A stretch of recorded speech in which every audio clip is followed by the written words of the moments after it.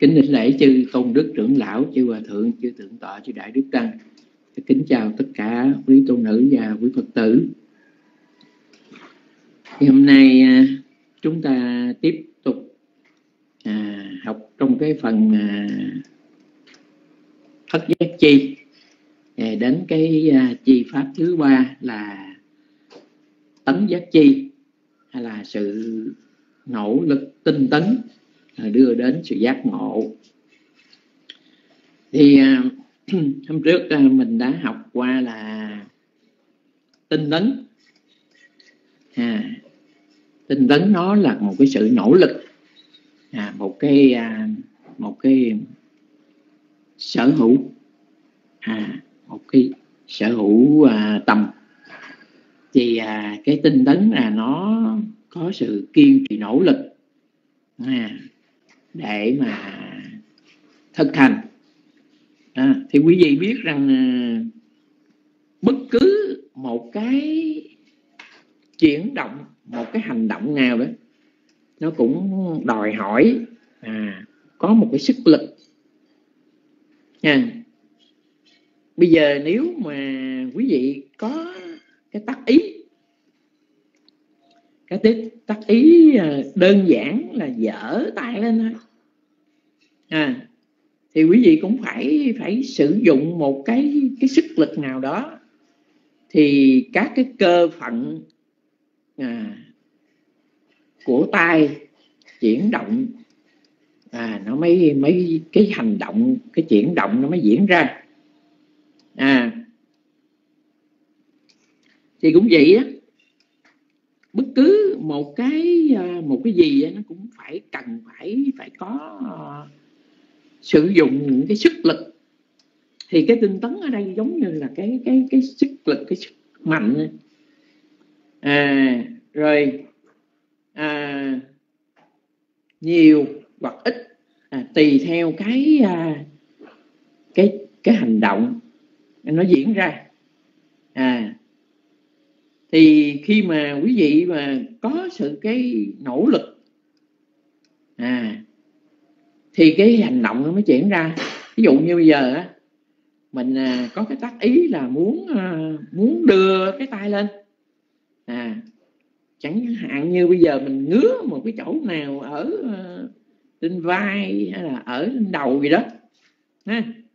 Bây giờ mình cái tác ý của mình là muốn đưa cái tay lên để à, để giải quyết cái vấn đề mà khó chịu cái ngứa ngáy ở ngay chỗ cái vị trí đó đó. À, thì cái tác ý nó khởi là rồi bắt đầu sao? Mình phải vận dụng cái sức lực và cái cái tay bắt đầu nó chuyển động nó đưa lên. À, nhưng mà mình đưa nửa chừng. Mình đưa tay lên nửa chừng bỗng nhiên thì cái cái cảm giác mà ngứa ngáy, khó chịu nó không còn nữa. Ha. Lúc đó là cái tắt ý đưa cái tay lên nó không còn nữa, nó dừng lại. Và nó không còn muốn giải quyết, để gãy hay là để ấy cái chỗ đó nữa. Thì tự nhiên sao? Cái hành động nó dừng lại và cái tay nó buông xuống. Đó. Thì cái chuyển động này nó đòi hỏi một cái cái sự nỗ lực một cái sự tinh tấn nó mới mới diễn ra. Nó là cái một cái hành động mà đơn giản nhỏ nhất. À, thì hâm hẩm ta học rồi. Cái à, tinh tấn nó có nằm ở trong cái à, à, ngũ quyền. À, để nó cai quản thúc đẩy các pháp động sanh. Rồi nó có một cái sức mạnh à, gọi là à, tấn lực để nung đúc để à, tạo một cái lực mạnh mẽ à, trong cái à, thúc đẩy các cái à, cái cái chi pháp khác. Đó. rồi khi mà muốn có cái sự giải thoát đó, nào đạt cái sự giải thoát thì à, nó phải trở thành một cái sức mạnh để để giác ngộ. Nè thì nó trở thành là tấn giác chi. À rồi nếu mà đạt đến các cái chi đạo á là à, thì nó trở thành là gì? Chánh tinh tấn. À cho nên á cho nên á là tùy theo tùy theo à, mỗi một cái một cái à, phần nào đó mà chúng ta sử dụng cái sức mạnh nó khác nhau. Thì bây giờ nè bây giờ quý vị khi mà quý vị thấy một cái uh, chiếc máy bay chiếc phi cơ đó nha khi mà nó đã à, nạp đầy đủ nhiên liệu à, rồi những cái hàng hóa những cái hành khách à, đã đã lên đầy ha thì nó từ ở trong cái sân ga đó từ sân ga nó bắt đầu nó nó tiến ra ngoài cái phi đạo để nó cất cánh đó. thì sao?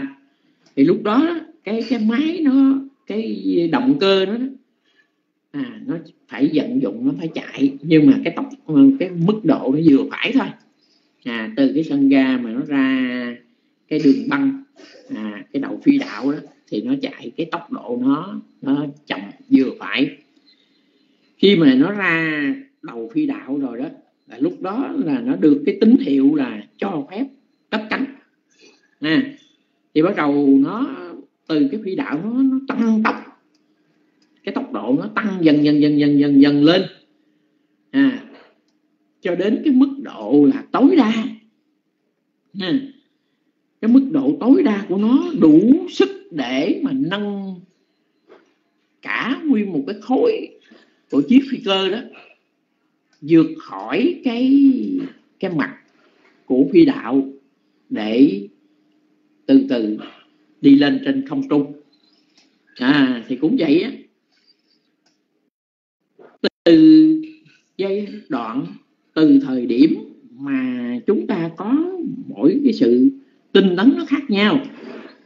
À rồi khi mà mình à, học pháp thì mình cũng phải có cái sự nỗ lực nhưng mà cái cái nỗ lực này nè nó không có quá mức.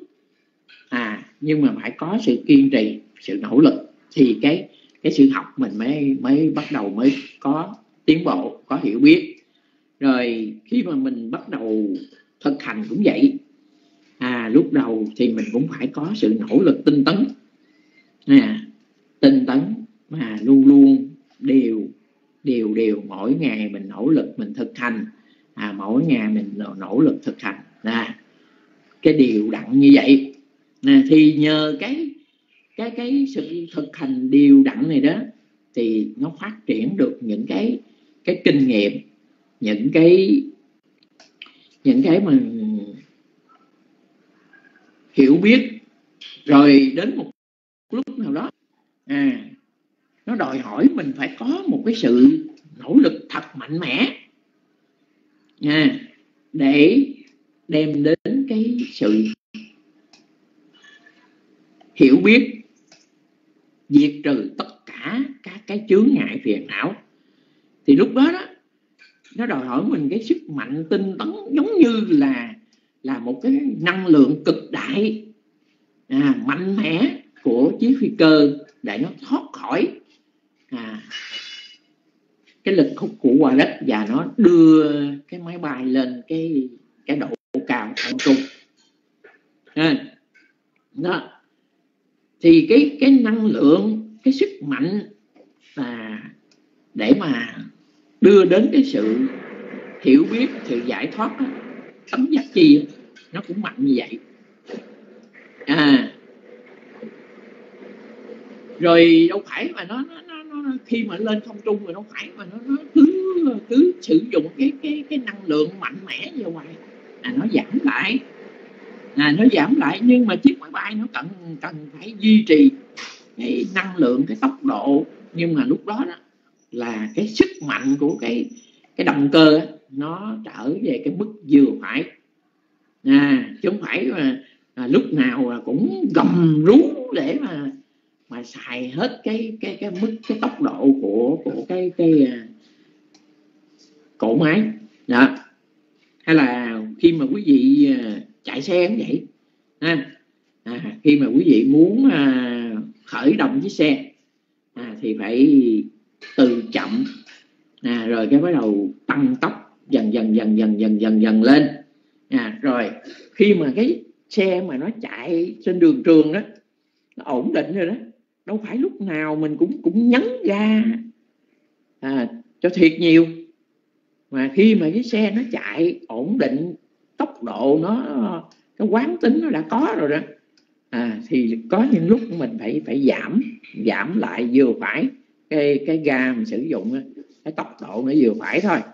À, chứ không phải như cái lúc mà mình khởi động. À, thành ra đó cái cái sự nỗ lực cái sự tinh tấn mình á, mình cũng phải phải biết duy trì á, à, nó ở cái, cái thời điểm nào à, để mình duy trì cái sự tinh tấn cho nó vừa phải nó đầy đủ. À, yếu quá thì cũng được. À, nếu mà mình à, cái ga mà yếu quá đó à, cái sự tinh tấn mà nó nó không đủ á, thì sao? Giống như chiếc máy bay nó không thể mà rời mặt đất để bay lên trên trên cái không gian không trung. À, nếu mà cái máy cái ga mà nó yếu quá đó thì sao? Cái xe nó đâu có đạt được cái cái, cái tốc độ. Đó cho nên đó là yếu quá cũng không được. Mà nếu mà quá mức cũng không được. Cho nên là chúng ta phải biết phải biết mọi cái thời điểm thì chúng ta sử dụng cái nỗ lực cái tinh tấn nó nó hợp lý nó vừa phải. À chứ còn nếu mà mình không biết mình nói là bây giờ học thì cũng phải tinh tấn tinh tấn tinh tấn tinh tấn. Hành cũng phải tinh tấn tinh tấn tinh tấn. Nhưng mà khi mà tinh tấn mà quá mức á, thì nó cũng trở thành cái cực đoan. Áp lực quá cũng không được.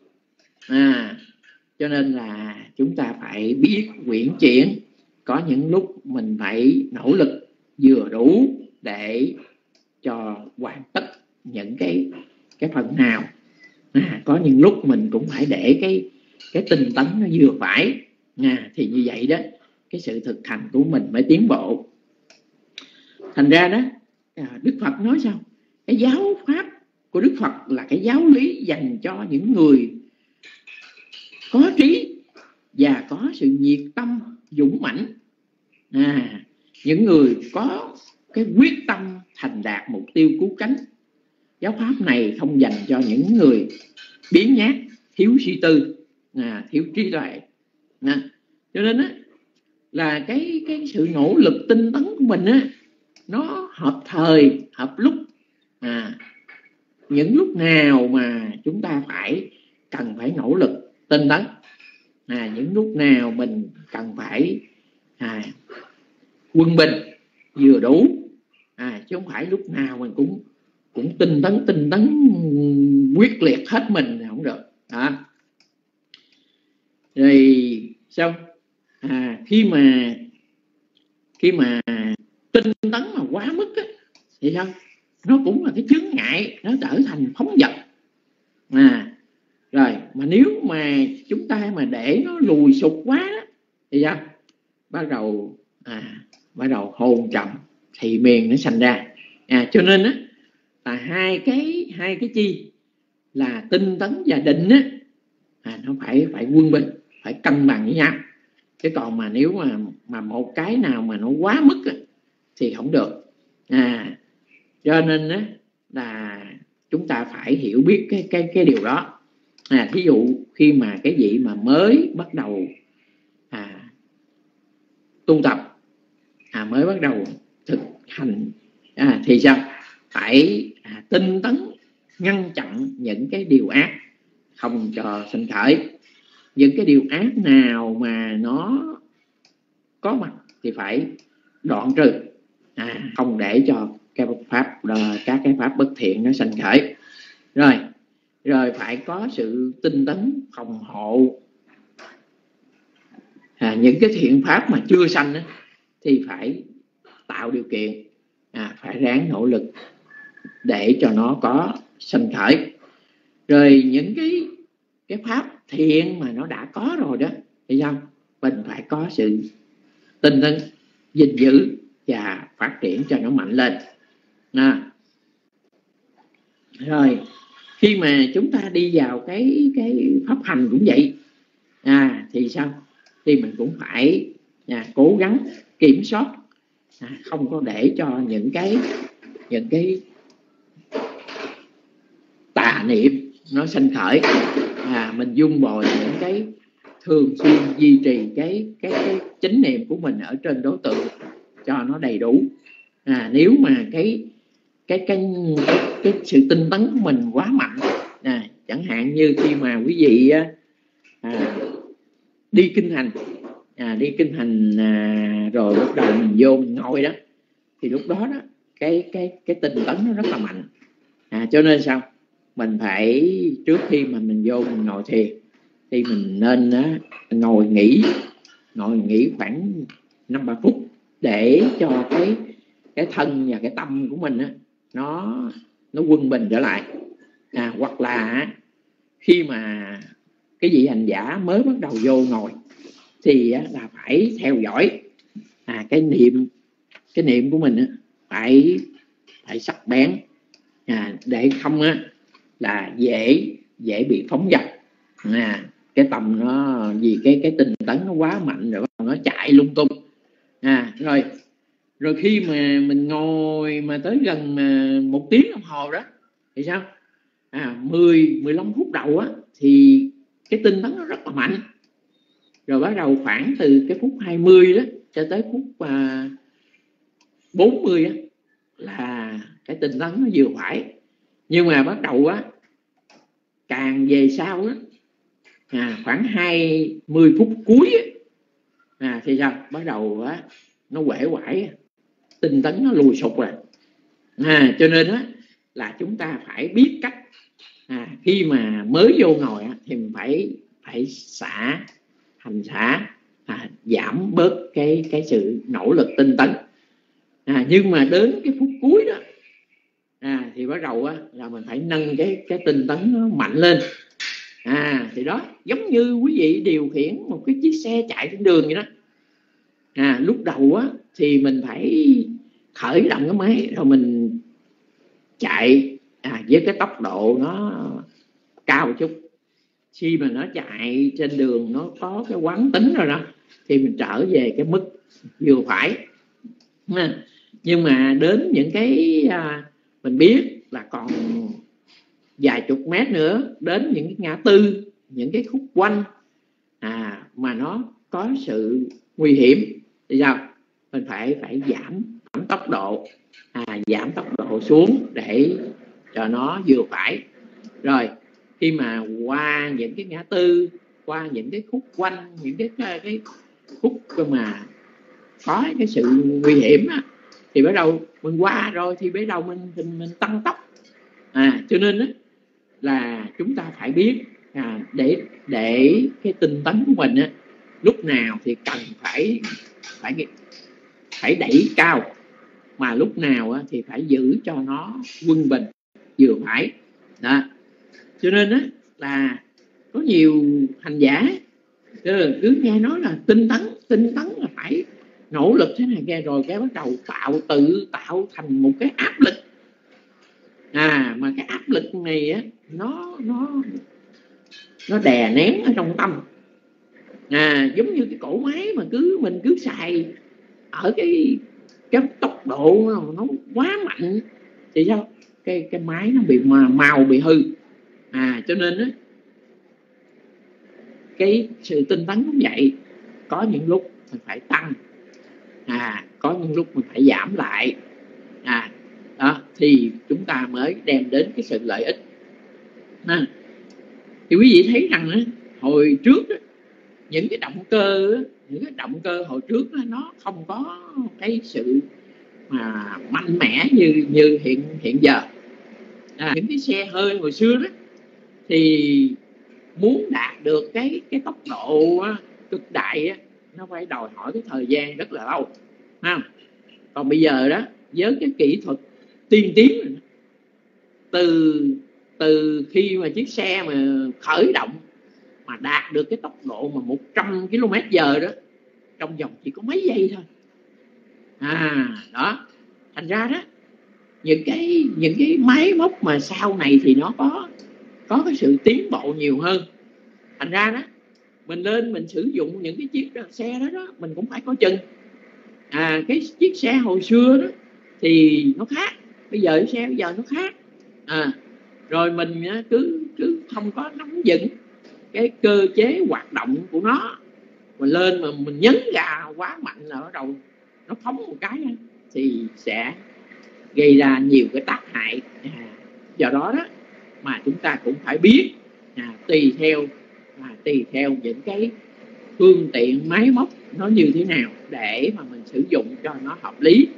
À, rồi à, một cái trường hợp nữa à, quý vị cũng thấy là à, cái trường hợp mà ngài Anda hình như trong những bài pháp mà sư cũng có đề cập đó. Thì ờ, vì vì cái mong muốn mà đạt đến cái thánh đạo thánh quả để kịp vào dự cái cái kịch ờ, cái cuộc ờ, kết tập tâm tạng à, cho nên á, là suốt cái đêm đó ngày tinh tấn quá mức đi. Cứ đi đi kinh hành à, đi ngồi đi rồi ngồi đi rồi ngồi à, cái cái sự nỗ lực tinh tấn là quá quá mức vậy à, thành ra cuối cùng đến gần sáng á, cái canh cuối á, thì bắt đầu nó nó quể quải à. À giống như là cái cái giai đoạn đầu á mình xài cái năng lượng nó quá quá nhiều. À, thì gần cuối á, là bắt đầu nó cái năng lượng nó nó yếu rồi cho nên á, ngài muốn nằm nghỉ một chút xíu thì khi mà cái cái cái cái sự tinh tấn nó nó giảm thiểu giảm thiểu mà nhưng mà cái cái chánh niệm của ngài nó cũng vẫn duy trì một cách là tốt đẹp à, miên mật liên tục. Thì khi mà ngài à, ngồi xuống từ từ từ từ ngã đầu nằm xuống à, thì ngài ghi nhận tất cả những cái chuyển động đó một cách rõ ràng à, thì lúc đó đó hai cái giữa cái cái tinh tấn à, niệm và định. À, tinh tấn và định đó, nó quân bình niệm đầy đủ. À, thì lúc đó ngài liền chứng đắc quả vị a la hán à, thành ra đó chúng phải biết ở trong kinh á có nhiều vị chỉ cần chỉ cần nghe rồi cái tệ quán nó đi theo. À chỉ trong phút chốc có thể chứng đắc được cả đạo quả.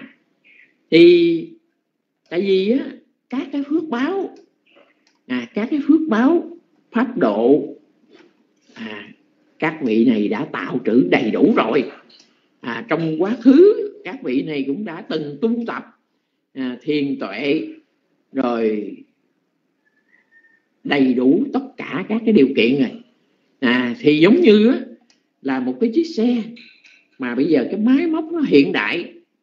À, chỉ cần cái chỉ cần trong hai giây ba giây là nó có thể đạt đến cái cái vận tốc cực đại 100 km giờ chẳng hạn ha.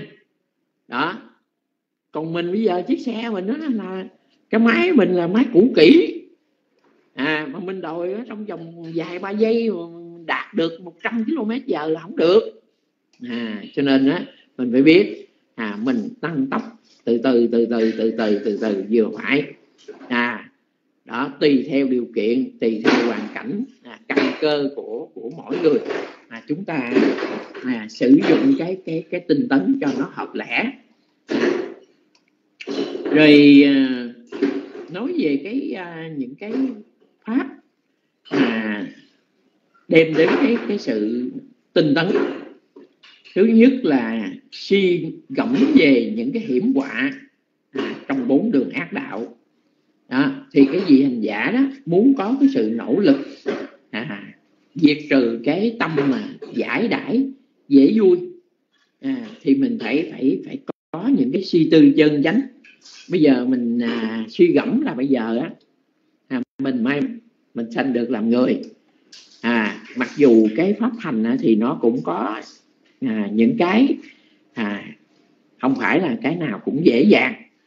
À, nó cũng có những cái chướng ngại à, rồi do thời tiết à, do bệnh tật à, do điều kiện ngoại cảnh chi phối à, nhưng mà mình thấy phải suy tư là nếu bây giờ á mà mình không ráng nỗ lực vượt qua những cái chướng ngại này à lạnh quá thôi lạnh quá không không tu. À trời nóng nực quá thôi cũng không tu. À, đói quá hành không được. Ăn cơm ăn no quá giờ hành cũng được. À, chính cái này á nó là một cái chướng ngại nó gây cản trở. Thì nghĩ bây giờ á trời nắng nóng này nè. Nhưng mà cái cái cái nhiệt độ cái nóng ở thế gian này á nó còn kém xa cái cái nhiệt não ở trong khổ cảnh. À bây giờ á, mà mình nói trời nắng nóng quá mình không hành được. À mình dễ vui. À, mình đi chơi rồi kia nọ à, mình không có chịu lo học lo tu thì một mai á, mà vô thường nó tới á, à, mình rớt vào khổ cảnh á, thì cái nóng á, nó còn gấp trăm lần gấp ngàn lần cái cái cái nóng ở thế gian này. À cho nên á, là chúng ta phải suy tư những cái cái suy tư chân chánh như vậy đó để gì? Tránh những cái hiểm họa à, khổ đau à, trong những cái khổ cảnh. Nha rồi cái thứ hai là quán xét về cái ân đức của cái pháp tinh tấn à, trong cái pháp hành. Không? Là là sao? À mình thấy rằng á tất cả các pháp á nó vận hành. À mà nếu mà thiếu cái sự nỗ lực tinh tấn à, thì nó sẽ không tiến bộ. Cho nên là là đức phật mới dạy trong pháp cú kinh là sao? Người tinh tấn như ngựa phi. À đó cái người mà trong mọi công việc trong pháp học cũng như pháp hành nếu mà mình có sự nỗ lực tinh tấn á, thì giống như con ngựa đó con ngựa mà nó có cái sức mà nó, nó băng băng nó nó vượt qua cái con, con đường để nó nó tiến đến đích cuối cùng. Đó. còn cái cái người mà lùi sụp dễ vui thấy không? À tinh tấn như ngựa phi bỏ sau con ngựa hàng. À, con ngựa hàng đây là là cái con ngựa mà mà lười nhát. À, giải đãi dễ vui. À, chạy không chạy. À, đi nước kiệu lẩn thẩn lẩn thẩn, à, đứng lại gặm những cái cái ngọn cỏ bên đường. Thì làm sao mà về tới đích được? Đó, thì cái sự nỗ lực của cái người mà tinh tấn trong pháp học pháp hành này, giống đức phật nói giống như con ngựa mà nó phi nước đại à, bỏ sau cái con ngựa mà chậm lục à, hàng yếu. Đó, cho nên á, nếu mà chúng ta không có sự nỗ lực tinh tấn à, ngay trong cái giây phút hiện tại à, để chúng ta đạt được những cái điều mà điều cao quý tốt đẹp thì sao? Vô thường nó tới. À, bệnh hoạn rồi mình không thể nào mình học được mình không thể nào mình hành được. À, đến những cái lúc nào đó à, do duyên do nghiệp à, trí tuệ mình nó không còn sáng suốt. À, bệnh tật già yếu nó diễn ra. À, thì lúc đó đó à, chúng ta có muốn hành hành cũng được. Cho nên bây giờ á, trí tuệ còn sáng suốt sức khỏe còn tương đối để mà có thể hành được thì mình phải ráng cố gắng nỗ lực để mình hành. Rồi à, quán xét về tu tiến tức là quán xét chính nhờ cái cái sự nỗ lực cái sự chuyên cần tinh tấn thì chúng ta sẽ đạt được những cái tiến bộ ở trong pháp học cũng như là pháp hành. Rồi à, quán xét về cái à, ân đức tinh tấn của bậc đạo sư cũng như là các cái vị thánh tăng. Thì à, có một cái trường hợp đó có một cái cô nàng chiên đà la chủ bắt là trong một cái đêm đó là nàng ta phải sai giả là mấy trăm ờ, cân thóc à, để ngày mai có gạo để đãi khách để cưới ra thì nàng ta phải thức thức suốt đêm à, thức suốt đêm để sai để giả gạo cho nó xong. À, thì nàng ta mới nhìn đến núi. À, lúc đó là giấc khuya mà trời lạnh rồi chư tăng đang đốt một đống lửa đó. rồi thấy các ngài từ từ đầu hôm cho đến gần sáng sao thấy các ngài không có không có nghỉ? Mà thấy đi tới đi lui đi tới lui. Thì sáng ra đó, nàng ta mới hỏi các vị à, vị đó. Nói à, con đó là vậy tại vì do chủ họ giao nhiệm vụ họ bắt buộc con ấy, là phải làm hoàn thành à, còn các ngài đâu có nhiệm vụ gì đâu mà con thấy các ngài không có ngủ không ngủ nghỉ à, thức suốt cả đêm. À, thì các ngài nói là mình phải có sự nỗ lực tinh tấn tu tập. À, thì trong kinh quý vị cũng thấy à, mặc dù đức thế tôn á, đã đạt đến cái quả vị cao tột rồi nhưng mà đó cái sự tinh tấn của các ngài nó không có lùi sụp à cho đến cái giây phút cuối cùng. À cho đến lúc mà vô dư niết bàn, thì các ngài mới mới hết tinh tấn mà thôi. À hàng ngày là ngày làm tròn cái bổn phận của mình. À mà đối với tất cả các vị thánh hữu học cũng vậy. À đó, các ngài đã hiểu biết rồi. Cho nên là các ngài có sự nỗ lực tinh tấn không ngừng. Chứ không phải chứ không phải là hồi còn phàm phu, phàm nhân. Thì mình tinh tấn. Giờ mình đạt được cái cái thánh đạo rồi, thánh hữu học rồi thôi. Mình tà tà, mình chơi chơi. Không có. Các ngài đã đạt đến thánh đạo rồi, các ngài càng nỗ lực nữa. Những vị mà mới đạt đến sơ đạo, sơ quả thì phải nỗ lực đạt được nhị đạo nhị quả. Rồi những gì mà đạt được nhị đạo nhị quả rồi thì phải cố gắng nỗ lực đạt được tam đạo tam quả. Và những vị mà đạt được tam đạo tam quả rồi phải cố gắng nỗ lực đạt được tứ đạo tứ quả. À, cho đến khi mà đạt đến tứ đạo tứ quả thì mới gọi là gánh nặng đã đặt xuống. À nhưng mà mặc dù gánh nặng các ngài đã đặt xuống rồi. Thấy không?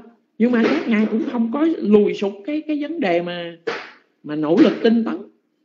À tại vì sự nỗ lực tinh tấn để xứng đáng với giáo pháp, xứng đáng với cái sự cúng dường của hàng cận sự nam cận sự nữ.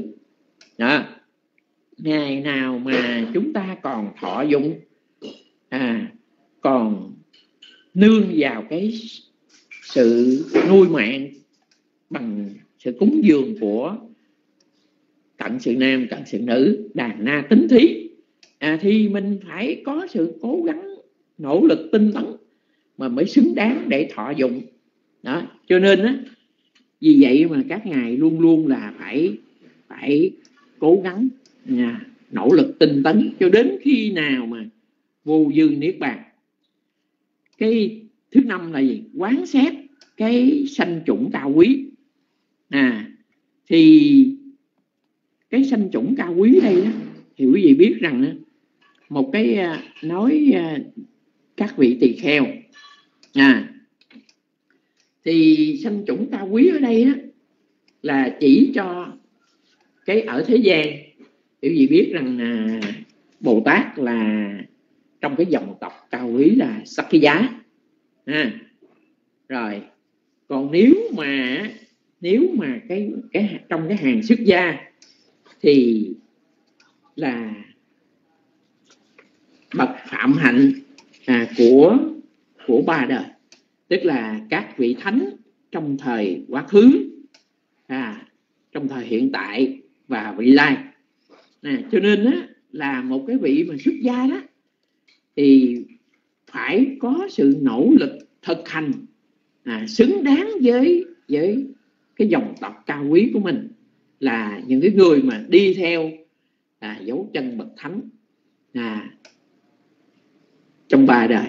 À, cho nên là phải có sự cố gắng à, nỗ lực để mà thực hành để xứng đáng à, xứng đáng với cái dòng tộc à, xứng đáng với cái dòng xuất gia. À, ví như bây giờ cái người con à, người con sanh ở trong hoàng tộc chẳng hạn. À, mình ỷ lại mình là công tử. Rồi á mình ỷ lại vào cái dòng tộc cao quý mình mà mình không chịu học. À, không chịu thực hành. Không rèn luyện về đạo đức trí tuệ. À, thì sao? Thì cái người này xứng đáng không có xứng đáng với cái cái cái dòng tộc với cái dòng họ của mình. Đó cho nên á khi mà suy xét những cái điều đó thì cố gắng nỗ lực. Rồi những cái vị hành giả cũng vậy. À, khi mà mình mình thực tập cái thiền quán thiền tệ ngay giây phút nào đó mà mình nỗ lực mình thực hành. À, để mình vượt thoát khỏi tất cả những cái phiền não thì mình cũng là một cái người xuất gia mình cũng là một vị tỳ kheo. À cái vị tỳ kheo đó thức xuất gia trước chư tăng à, với những cái lần tuyên ngôn. À, còn mình á mình cũng là cái vị tỳ kheo cái vị xuất gia xuất gia ở đây á là trong cái pháp hành. À, ngay lúc nào mà chúng ta có nỗ lực thực hành để diệt trừ tất cả những cái chướng ngại phiền não à, để giải thoát thì lúc đó là mình là cái vị tỳ kheo. À, thành ra cái cái cái chữ tỳ kheo đó nó có nhiều nghĩa lắm. Nhưng mà ở trong cái thời gian và cái cái bài giảng hôm nay thì sư chỉ nói tóm gọn để có lúc nào đó thì sẽ nói rộng hơn. Đó rồi cái thứ sáu là hằng thực hành tinh tấn bằng pháp. À trì bình khất thực cái này là dành cho chư tỳ khu à, quán thứ bảy là quán xét di sản lớn. À, quán xét di sản lớn ở đây là quán xét về cái cái di sản mà đức thế tôn đã để lại à, bây giờ mình là hàng cận sự nam cận sự nữ hoặc là những cái vị mà xuất gia. À, chúng ta đã được hưởng cái di sản mà trải qua nhiều đời nhiều kiếp à, từ phàm nhân mà bồ tát đã thực hành để đạt đến chánh đẳng chánh giác. À, rồi à, cái con đường giải thoát cái giáo pháp mà đức phật đã chỉ dạy à bây giờ á à, chúng ta thừa hưởng cái di sản này đó. Mà nếu mà chúng ta không thực hành nỗ lực để xứng đáng với cái tài sản đó thì chúng ta là một cái người không biết tri ân. Thì à, sẽ cũng à, nói với quý vị một cái câu chuyện để à, quý vị hiểu rõ hơn. Thì cái người cha đó người cha đó trước khi mà đi xa người cha mới uh, gieo ờ, uh, mấy giao lại cho mấy đứa con mình. À, mỗi đứa là ba hộp lúa. Cái uh, cái uh, đứa con cả ba hộp cái cậu con giữa ba hộp uh, cái uh, cậu con út ba hộp. À, thì người cha muốn thử là để coi đó là những đứa con nào để xứng đáng để ông ta giao gia tài lại. Thì người cha mới bắt đầu đi xa một thời gian. À, một vài năm. Thì cái cái cái anh con cả anh nói trời đất ơi tự nhiên ông già mình bây giờ ông già ông lớn tuổi rồi ông lẳng thẳng. Khi không tự nhiên đưa cho mình ba hột lúa làm gì? Ông đem dục. À rồi. Cái người con giữa thì nghĩ chứ chà ba hột lúa này chắc nó có cái gì nhiệm màu linh ứng gì lắm á. À chắc là nó có nhiệm màu linh ứng thì thôi mình để lên bàn thờ mình thờ. À rồi. Còn cái người con trai út á thì mới nghĩ là à chắc là cha mình á muốn thử thách mình. Cho nên bây giờ á mình sẽ sẽ làm. À, thì cái cái cái người con út á mới lấy à, ba hột lúa đó. À, lấy một cái chậu à, gieo gieo ba hột lúa vô. Thì cái mùa thứ nhất á, ba hột lúa thì nó trở thành ba ba bụi lúa ở trong cái chậu.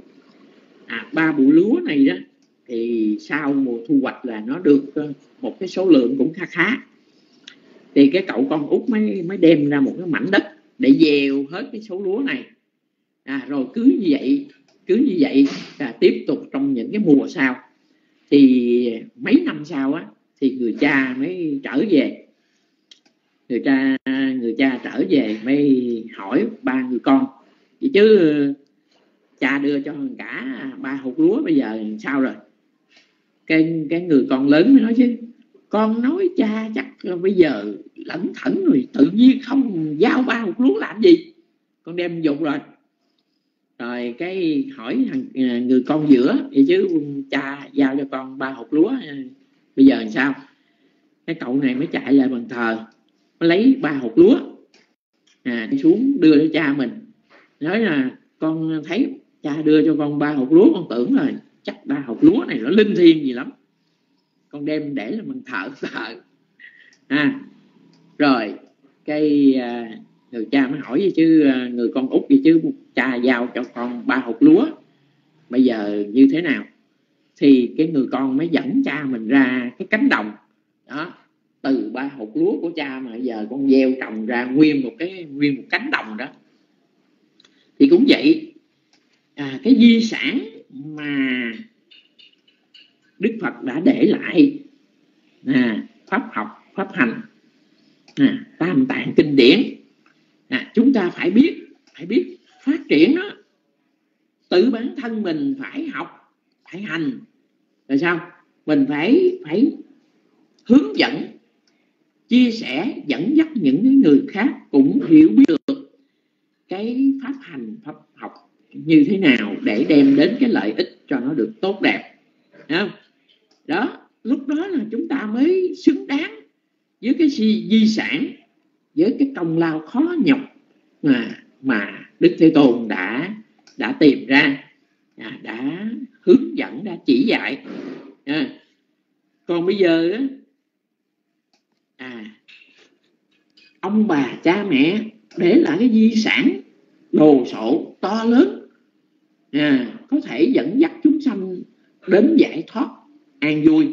Mà giờ mình á, mang danh là cận sự nam cận sự nữ mang danh là phật tử mang danh là tỳ kheo mà nếu mà mình không có thực hành thì như vậy mình đâu có xứng đáng.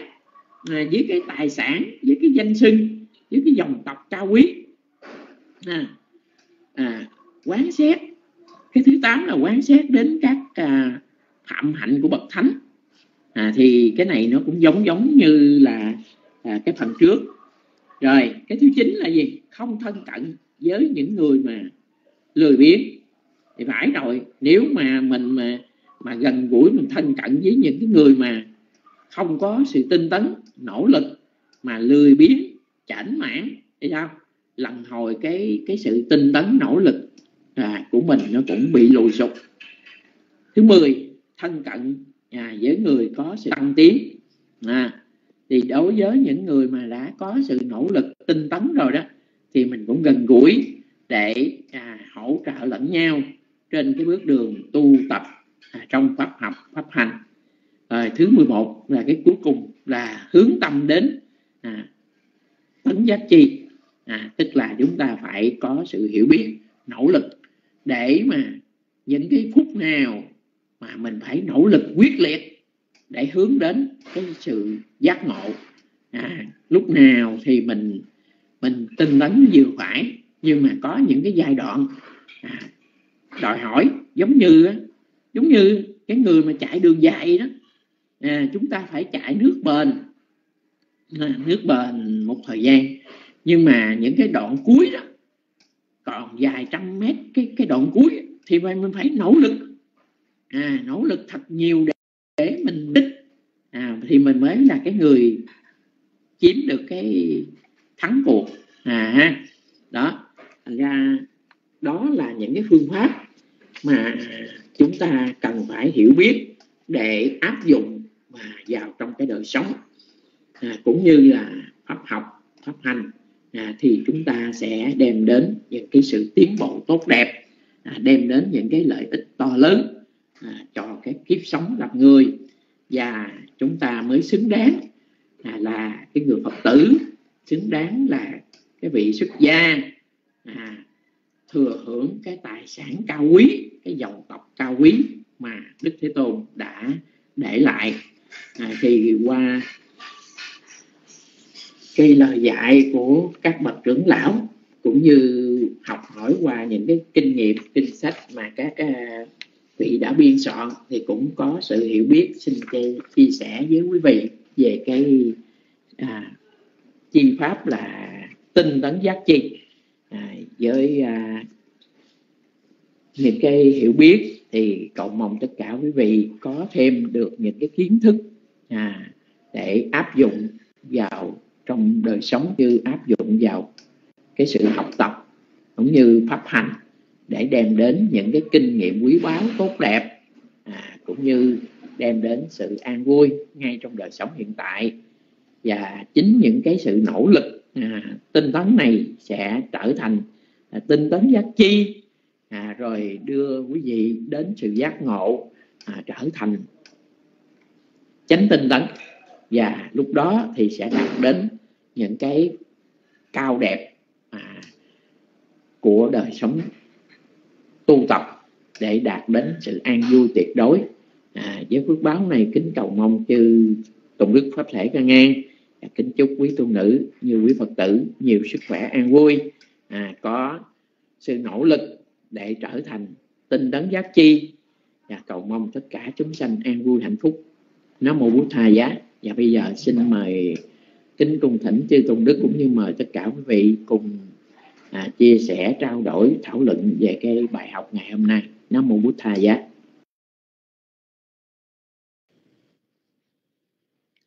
Nam mô Bụt tha giá nam mô tham ma giá nam mô sang kha giá dạ trước hết con kính đảnh lễ ân đức phật ân đức pháp ân đức tăng dạ con kính đảnh lễ à, sư thanh tâm kính đảnh lễ sư pháp thanh à, kính đảnh lễ sư pháp trang kính đảnh lễ chư tôn đức tăng ni và con kính chào toàn thể đạo tràng Dạ, con xin thay mặt đạo tràng kính tri ân sư Pháp Thanh đã từ bi hoan hỷ giảng dạy cho chúng con bài học ngày hôm nay. Dạ, tinh tấn giác chi ạ. À à, dạ sau đây con kính mời đạo tràng à, có thắc mắc gì về bài học ngày hôm nay ạ? À? Dạ con rất là hoan hỷ khi mà nghe sư giảng và mình để mình áp dụng trong cái à, pháp hành của mình. Dạ, dạ con con kính mời đạo tràng à. Con kính mời những bàn tay, những câu hỏi À, không biết là chị Từ Mẫn có câu hỏi không ạ? À? à, Huynh Thính Pháp nè, Huynh Minh, à, Huynh à, Giang Nhất Hạ, rồi à, dạ trong đây rất đông, à, Xích Tâm, à, Huynh Mỹ, dạ con kính mời ạ. À. Có, có có ai bàn tay ồ sa thú xích hà nguyên trang chưa quên tên xích hà ha nguyên trang kính gợi mít lại cho xích nha nguyên trang xin xuống mít ạ à. Dạ, Nam Mô Bụt Thà giá, Nam Mô Tham Ma giá, Nam Mô Sang Kha giá. Dạ, con kính lãnh lễ uh, quý sư, dạ, thưa sư uh, Pháp, Tra, à, Pháp à, Thanh, dạ con có câu hỏi. à, vậy thì cái thất giác chi thưa sư, tinh tấn niệm định tuệ thì có phải khi có niềm tin nó là nhân mà cái quả nó cho là cái sự tinh tấn rồi ngược lại cũng như vậy tinh tấn cũng là nhân cho cái à, quả nó là à, có niệm có định có tệ và vân vân và vân con không con có cái sự suy nghĩ vậy không biết là con hiểu như vậy có đúng không? Dạ con xin trao mic cho sư giảng dạy.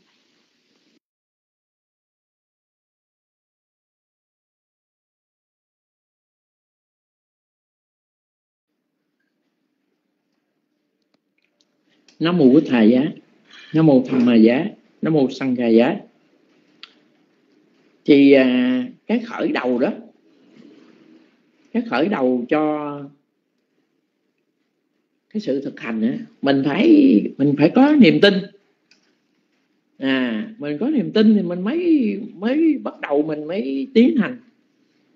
Bây giờ à, giả dụ như cái một cái người mà lớn lên à lớn lên rồi á người ta tìm hiểu một cái ngành nghề nào đó à thì cái người này phải có cái niềm tin à cái niềm tin về cái khả năng của mình. À mình sẽ học một cái nghề nào đó chẳng hạn. À bây giờ học cái nghề à, sửa xe đi. À cái người này họ thích học để mà làm cái nghề mà để sửa xe. Đó. Thì mình à, khởi lên cái niềm tin như vậy đó. Mình có khả năng mình sẽ học được và mình sẽ làm được. À cái người này mới mới lựa lựa những cái ông thầy nào mà à, có kinh nghiệm trong cái cái cái cái nghề của mình.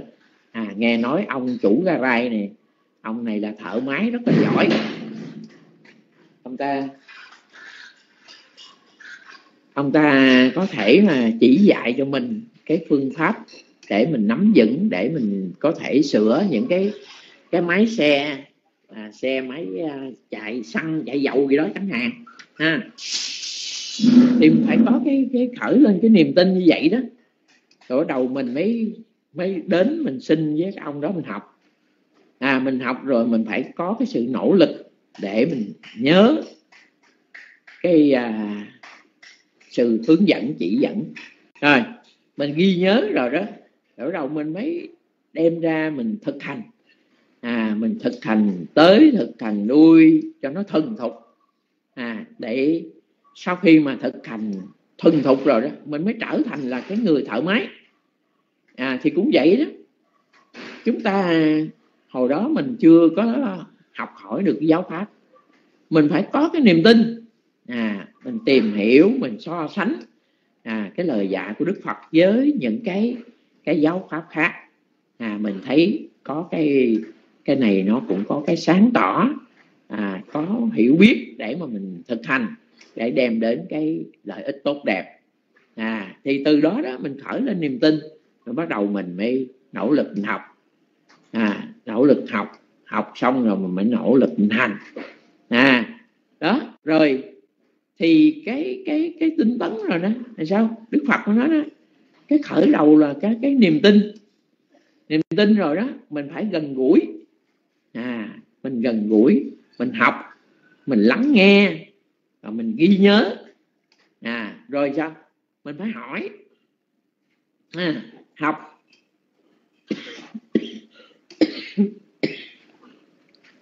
Rồi phải ghi nhớ. À rồi những cái điều nào mà mình chưa thông suốt là phải hỏi lại. Nha trong khi mình học mình cũng đòi hỏi cũng phải có cái sự nỗ lực sự tinh tấn. Rồi khi mà áp dụng thực hành à, thì nó cũng phải phải có sự tinh tấn. À, chứ nó cũng trong cái pháp hành nó cũng khó lắm chứ. À, rồi. Đó rồi. Đi từng bước từng bước như vậy. À thành ra đó thành ra các cái chi pháp đó nó nó những cái chi pháp nào nó phải sanh trước để làm nền tảng để làm điều kiện cho các cái chi pháp khác à, tiếp tục sanh khởi. À, nó từng tự từng tự như vậy. À, thì phải đi theo từng bước để à, cái sự học cái sự hành của mình à, nó mới có sự tiến bộ. À, thì khi mà mình có cái niềm tin rồi đó mình hướng về cái gì? Mà hướng về cái, cái chánh. À từ cái niềm tin ban đầu đó nó trở thành cái chánh tính à, hướng về những cái điều chân chánh để gì? Để loại trừ cái cái những cái pháp tà tính. Nha. Rồi mình phải có gì? Cái cái chánh tâm. Cái tâm mình phải hướng về những cái điều chân chánh. Nè khi mà cái tâm hướng về chân chánh rồi đó thì sao? Mình mới nói những cái lời chân chánh. Mình suy nghĩ những điều chân chánh và mình mới làm những cái điều chân chánh. Đó, thì đi từng bước từng bước như vậy. À rồi tất cả các pháp, nó đều đòi hỏi ừ, phải có cái sự nỗ lực hết á. Phải sự cố gắng, giống như tôi nói nãy đó.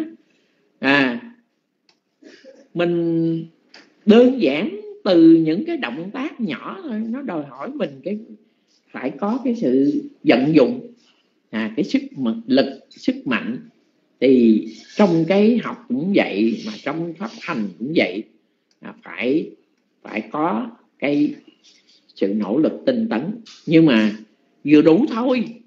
À chứ mà đừng có đừng có nôn nóng mà mình mình tin tin có tấn quá mức thì không được ha à bây giờ mỗi ngày mình học một đoạn và mình học một trang gì đó. À, mỗi ngày mình thực hành một pháp. À dạ từ từ từ từ từng bước từng bước. Chứ mình đừng có nôn nóng quá. À mình tinh tấn mà nôn nóng quá mức thì cũng được. À nhưng mà mình chảnh mãn dễ vui à, giải đãi thì cũng không không có được. À cho nên á mình phải hiểu cái lời đức phật dạy cái con đường trung đạo là trong đời sống vậy mình làm việc vừa chân vừa đủ không có nên làm mà quá sức ha. Rồi mình học cũng vậy học cũng vừa đủ cũng vừa phải à rồi mình hành cũng vậy hành cũng vừa phải. Chứ không phải mà nói ờ, thôi bây giờ cái pháp hành là là lợi ích cao thượng. Hành chết bỏ hành quên ăn bỏ ngủ à, là cũng không đúng đó. Cho nên á cái đi trên cái con đường trung đạo nó là đúng. Mà hả mà giải đãi dễ vui là cũng là biên kiến cực đoan. Mà mà tinh tấn mà quá mức thì nó cũng là cực đoan. Cho nên à, chúng ta biết phải à, với trí tuệ thì mình phải tinh tấn như thế nào để nó có chừng mực nó vừa đủ. Và sao? Cái tinh tấn nó phải liên tục. À chứ không phải. À, bữa nay á, thì hứng hứng lên vui vui mình làm quyết liệt. À mình ngồi thiền ba bốn tiếng. Ở cái ngày mai cái quẩy quải mệt quá thôi. Bữa nào khỏe hành bữa nào không khỏe thì nghỉ. Đó. Thành ra cái sự sự thực hành của mình như vậy nó bị gián đoạn. À, thì nó không có đem đến cái lợi ích. Cho nên á là phải vừa phải chừng mực. Nhưng mà sao? Liên tục. À, chứ không có phải mà à, khi thì khi thì quá mức mà khi thì buông lơi. À, thì cũng không có đúng. À, cho nên là chúng ta phải hiểu biết để à, trong cái à, sự học sự hành của mình cũng có được tiến bộ. Năm mô bút tha giá và chúc cô hà nhiều sức khỏe an vui.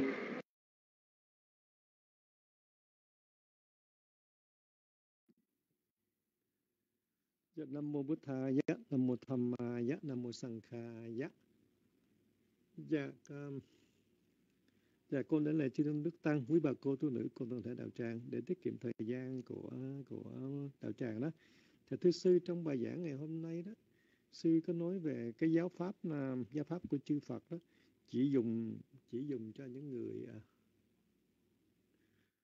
dạ tại vì có lẽ cái phone của con nó bị nó bị vấn đề đó. Dạ à, dạ thưa sư à, giáo pháp chỉ dùng cho người có trí đó như vậy thì ờ, cái người có trí đây đó được hiểu như thế nào thưa sư? Cái trí đó, được hiểu cái trí đây có phải là trí văn trí tư và trí tu? Và chúng con phải phải có trí như thế nào để được xứng danh là người người có trí để học Phật thưa sư? Không không biết có nghe được hay không ạ? Dạ à dạ. dạ con dạ con xin à, con xin à, xuống mic ạ. Dạ.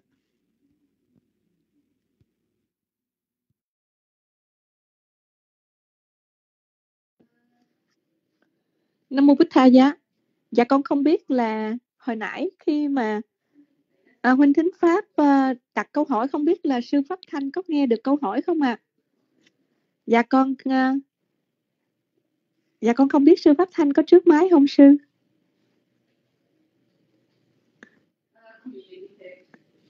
thế nào là đúng rồi dạ nên nguyên trang chỉ muốn lên hai mai sư mà không thấy tín hiệu của sư pháp thanh dạ em à, uh, sorry chị từ mẫn nha chị chị chờ chút xíu nha chị.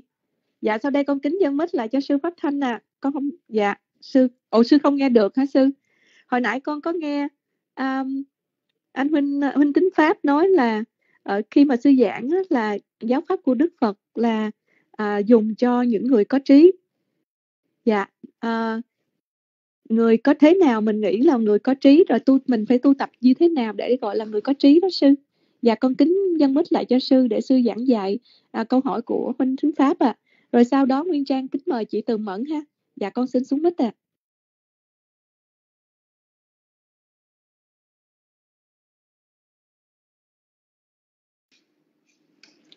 nam mô bút thầy giá nam mô tham ma giá nam mô sanh khai giá Xà, xin quý vị cũng quan hỷ thông cảm tại vì à, lúc này thì à, nhiều khi thợ người ta làm đó rồi cái máy móc rồi nó ồn quá.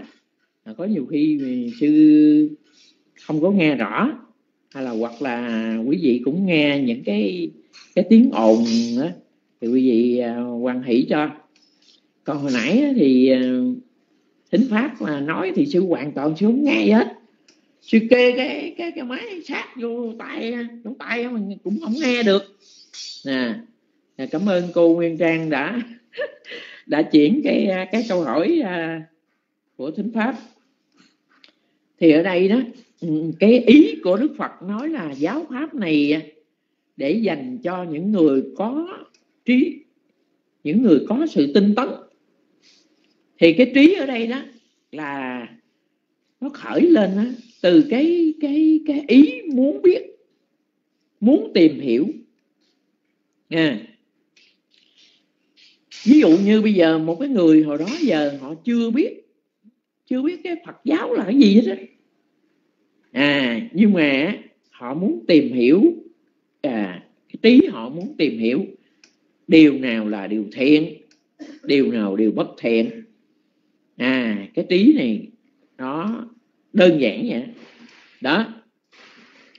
Rồi, nhờ có cái cái cái cái thắc mắc à cái cái bắt đầu họ mới mới đi đến, họ họ tìm hiểu. À họ mới phân biệt được cái điều nào là điều thiện à điều nào là điều lợi ích à điều nào là cái điều bất thiện à đem đến những cái tai hại khổ đau. Thì cái cái trí đây đó, nó khởi đầu là cái trí để phân biệt à để mà chúng ta hiểu biết rõ ràng phân biệt à, những cái nào là đúng những nào sai những cái nào cần phải loại trừ những cái nào thì phải thực hành theo. À, để đem đến cái sự lợi ích.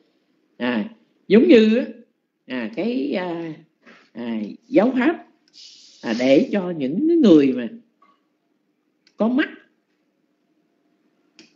à những cái người có tai thì sanh ra rồi ai không có mắt ai không có tai. Nhưng mà những cái người mà có mắt ở đây đó là những cái người mà hướng về à, để tìm hiểu cái cái giáo pháp. À thì họ mới mới thấy được cái pháp. À, những người có tai ở đây là những người mà cái tai ấy, lắng nghe chú tâm nghe pháp. À thì họ mới hiểu được ví dụ như bây giờ ngọc những cái viên ngọc nó có thể nó nằm rải rác ở ở trên thế gian này. Nó nằm lẫn ở sỏi trong đá rồi chẳng hạn. Thấy không? Nhưng mà những cái người mà những người thợ ngọc đó những người thợ ngọc đó, họ biết họ mới nhìn họ mới thấy được họ phân biệt được là cái viên ngọc. Thấy không? Chứ còn đối với những cái người mà ngành nghề khác hay cái người anh nông dân ấy, giữa cái cái viên ngọc với sỏi đá anh thấy như nhau có khác gì đâu. À, nhưng mà cái người thợ ngọc đó người ta mới mới biết cái nào là ngọc à, cái nào là sỏi cái nào là đá người ta mới phân biệt được. Đó thì cái trí tuệ ban đầu của mình cũng giống vậy đó. À, mình phải phải có phân biệt tìm hiểu à, cái nào đúng đắn cái nào là là sai trái để mà mình sửa đổi. Đó thì từ cái từ cái trí tuệ này đó à, cái sự chú tâm mình mới mới bắt đầu mình mới học hỏi. Thì học là trí văn rồi suy tư là trí tư. À, rồi cố gắng nỗ lực thực hành à, để đạt đến cái trí tuệ à, giác ngộ giải thoát. À, thì nó nó nó đi từng bước từng bước từng bước vậy đó. À, cho nên đó là à, cho nên là chúng ta phải phải có à, khởi lên cái cái tâm hướng về cái điều đó. Mình muốn tìm hiểu mình muốn biết cái trí tuệ mình mới tìm hiểu biết được những cái điều mà mình mình hướng đến. À cho nên là chúng ta hiểu cái lời đức phật dạy. Và à, nếu mà có thể đó thì à, huynh thính pháp à, à, chỉnh lại cái máy cho nó lớn lớn dùm chút. À, chúc huynh nhiều sức khỏe an vui. Nam mô tha giá.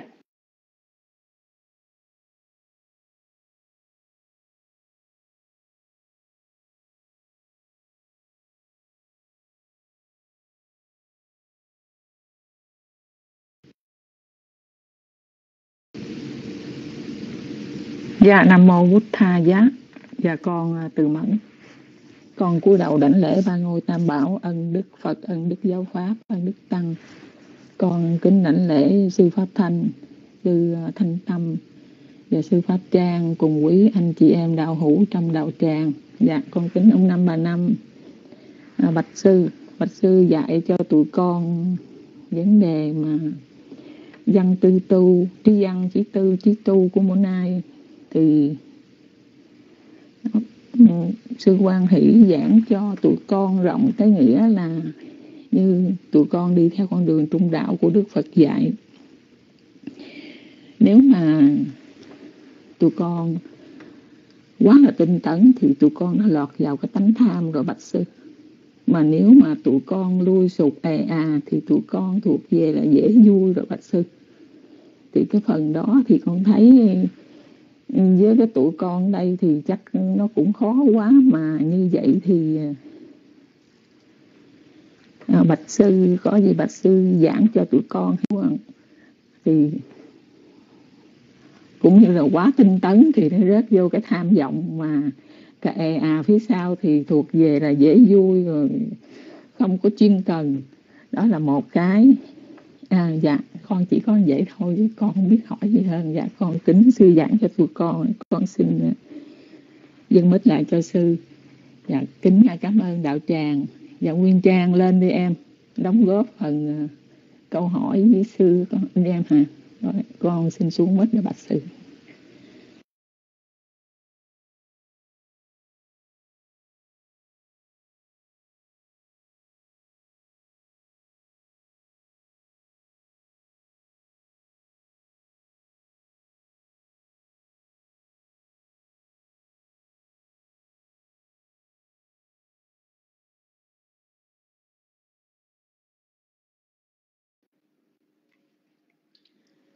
nam mô bút tha giá nam mô tham ma giá nam mô sanh kha giá. À, cô uh, từ mẫn uh, nói uh, thì uh, sư cũng chờ coi cô nguyên trang có lên uh, để uh, uh, đóng góp gì không? Mà thấy uh, cô nguyên trang không có lên thành ra sư uh, xin uh, mạng phép mà uh, nói uh, cho cô từ mẫn hiểu đôi điều. Thì à, chúng ta luôn luôn á chúng ta phải phản tỉnh phải xem xét lại. À có đôi lúc là cái sự nỗ lực tinh tấn của mình á à, do cái phiền não thúc đẩy thì cũng như cô nói vậy đó. Tức là có những lúc mà mình tinh tấn để mình mong muốn mình đạt được cái này cái khác. À mình à, làm cái thiện sự để mình mong cầu được được cái này cái khác. À, được cái à, à, được những cái lời tán thán khen ngợi nè. À, những cái kiếp à, tương lai là mình được người giàu giàu có nè sanh làm chư thiên thế này thế khác. Đó. Thì cái này là gì? Cái này là chúng ta làm do cái thúc đẩy của của phiền não. À, thành ra là ừ, bất thiện bất thiện mà trợ cho thiện. Hay gọi là là là pháp dục. À, tức là những cái này mình mình làm đó mình thực hành pháp này đó là do cái cái mong cầu. À, để mình làm. À, nó là cũng một cái một cái điều mà cũng lúc đầu á, thì mình phải phải phải cần có cái sự hỗ trợ. À tại vì á, cái lúc đầu á, mình chưa hiểu biết cái trí tuệ mình chưa có có già dặn, thì phải phải cần cái cái pháp dục này nó hỗ trợ mình để mình làm các cái thiện sự. Nhưng mà lần hồi đó, nhờ mình tìm hiểu, mình học hỏi rồi thì bây giờ mình làm, nhưng mà mình đừng có mong cầu nữa. À đó, bây giờ á, hồi trước, tại vì mình muốn muốn ngồi thiền à, để đạt sự an lạc. À, nhưng mà sự thật ra đâu phải ngồi thiền hoàn toàn an lạc đâu. Nó đau nó tê nó nhức nó mỏi đủ thứ chuyện. À thành ra đó mình sau này mình ngồi để mình hiểu biết được cái sự vận hành của danh và sắc.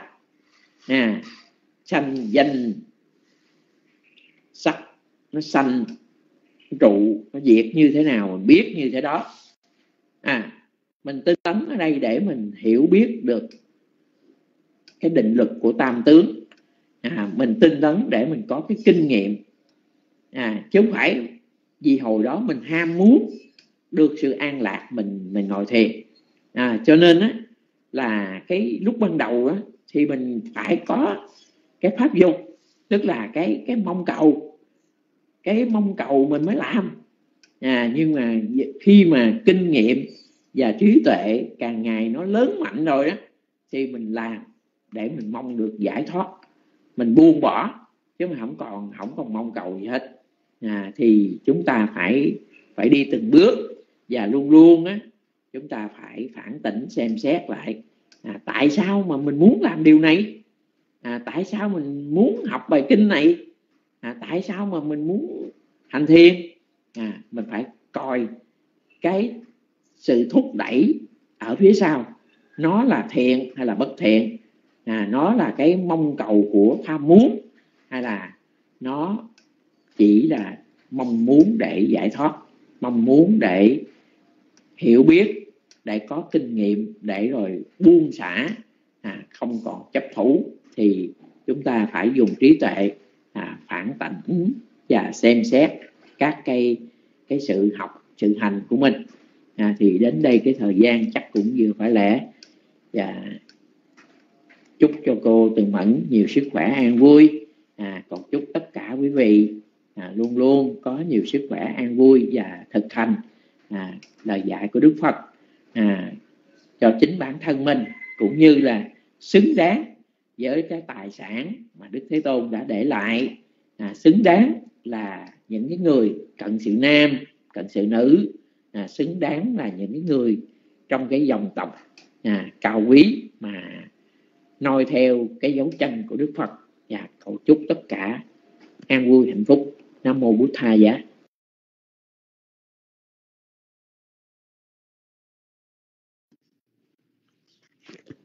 Sa thú, sa thú, dạ con xin thay mặt đạo tràng kính tri ân sư Pháp Thanh đã từ biêu hoan hỷ giảng dạy cho chúng con bài học ngày hôm nay ạ. À. Dạ uh, rất là uh, hoan hỷ uh, uh, với bài học hôm nay uh, và con cũng rất là uh, cảm ơn uh, quý cô chú Phật tử uh, đã tham gia đặt những câu hỏi để làm cho room thêm sống động ạ. À. Dạ sau đây con kính mời sư Thanh Tâm, uh, à, sư Pháp Trang. Con không biết sư Pháp Trang có trước máy không ạ? À? Con không biết sư pháp dạ sa thú dạ con kính thỉnh uh, bàn tay của sư chúc phúc cho đạo tràng của chúng con sau khi thính pháp ạ à. dạ con kính dân mít lại cho sư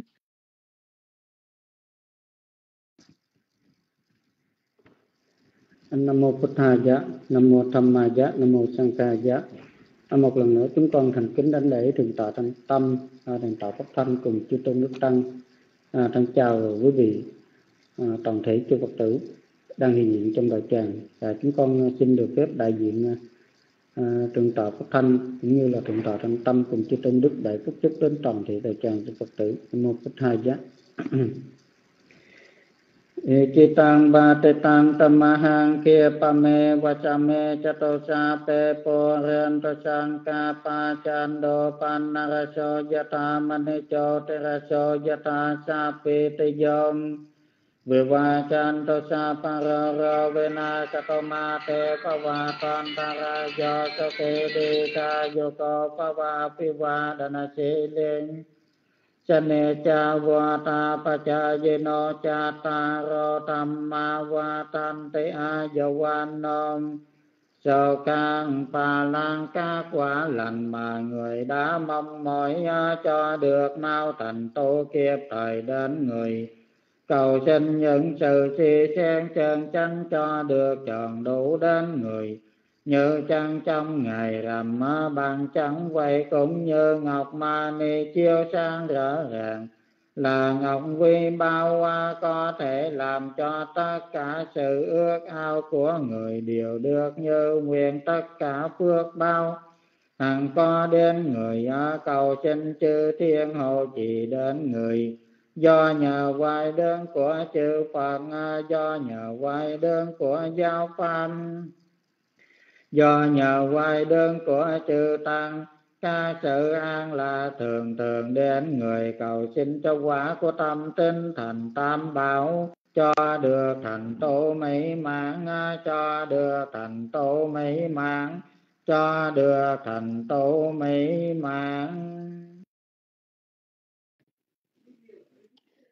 Sa thu sa thu lành thai Dạ sau đây con xin thay mặt đạo tràng một lần nữa kính tri ân sư Pháp Thanh, kính tri ân sư Thanh Tâm và kính tri ân sư Pháp Trang đã đến với đạo tràng và giảng dạy cho chúng con bài học ngày hôm nay. Và kính cảm ơn sư Pháp Tranh, sư Pháp Trang đã chúc phúc cho đạo tràng của chúng con sau khi thính pháp à. Và dạ, sau đây con kính mời đạo tràng con à, hồi hướng sau khi thính pháp. ยาเดวตาสันติวิหารวาสินีทูเบคาเรโปธิกาเรตาเห็นตาเห็นตาธรรมดาเนนฟวันตุปูชิตาโสติงการนเตทวิหารมันดาเล เทราจมัจจานาวกาจเฟตคาโวสารามิกาดานปติอุปาสกา Gama cha desa ni gama cha isara sambana futa sukhita pawantu te. Cha la bu cha ye bi cha anda sampawa san se da cha ta athawo papatika. Ni ya ni ya ni kam thamma warang patit cha te sambe biduk asakaron tu sankhayang. Tha tu chi răng sa tăng tham mô tham ma tha ra cha búc ga la sang khô hô tu sa mắc cô cha wa at tha ya cha hi ta ya cha am he ra kha ta su sa, tu sa tham mô sam bê bi tham ma cha ri no vi thịnh sam ba bi này ya ma tham ma ri yap ba we đi tê Idang no nha ti Đăng hôn tu sukhita hôn tu nha ta yo. Do sự phước báo mà chúng con đã trong sạch làm đây, xin hồi hướng đến thân bằng quyến thuộc đã quá vạn, cầu mong cho các vị ấy hằng được sự yên vui. Idang watame punyang a sawak khaya a hằng hồn tu ana ka lê ca lê Do sự phước báo mà chúng con đã trong sạch làm đây, hãy là món duyên lành để dứt khỏi những điều ô nhiễm ngủ ngầm nơi tâm trong ngày vị lai. Nguyện cầu tam bảo từ hàng độ, nguyện thoát ba tay nước lửa binh, nguyện thảy chúng sanh khỏi oan kết, nguyện cho nhân loại ráng tu hành, nguyện dình tam học giới định tuệ, nguyện đoạn tham sân si độc sanh, nguyện dạy canh nhân sanh từ khổ, nguyện diệt tâm tham háo lợi danh, nguyện tu tinh tấn không dại đại, nguyện sao đạo quả sớm viên thành. Và sau đây một lần nữa con xin thay mặt đạo tràng kính tri ân quý sư đã đến với đạo tràng và giảng dạy cho chúng con à, bài học ngày hôm nay. Và kính cảm ơn quý cô chú đạo hữu đã đến với đạo tràng tham gia thời pháp ngày hôm nay. Và cảm ơn à, huynh thính pháp chị từ mẫn xích hà đã có những câu hỏi để cho đạo tràng à, được hiểu rõ hơn về bài học ngày hôm nay và một lần nữa con xin à, kính chúc đạo tràng có một ngày đang an lành một đêm an lành sáu thời đều an lành ạ à. Nam mô Bụt Tha giá, Nam mô Tham Ma giá, Nam mô Sang Kha giá. Dạ con kính tạm biệt đạo tràng. À, kính chúc đạo tràng có một đêm an lành. Dạ con kính mời đạo tràng trở lại room vào ngày mai vào lúc 9 giờ tối giờ Hoa Thịnh Đốn, tức là 9 giờ sáng giờ Việt Nam. Ngày mai sẽ là ngày thứ tư, à, là ngày ôn ôn bài vi diệu pháp sẽ lo à, sẽ do Nguyên Như đảm trách ạ. À. Dạ con kính mời đạo tràng. Dạ một lần nữa con kính tạm biệt đạo tràng ạ. À à, nam mô Bụt tha giá nam mô tham ma giá nam mô sang Khai giá dạ con xin xuống mít ạ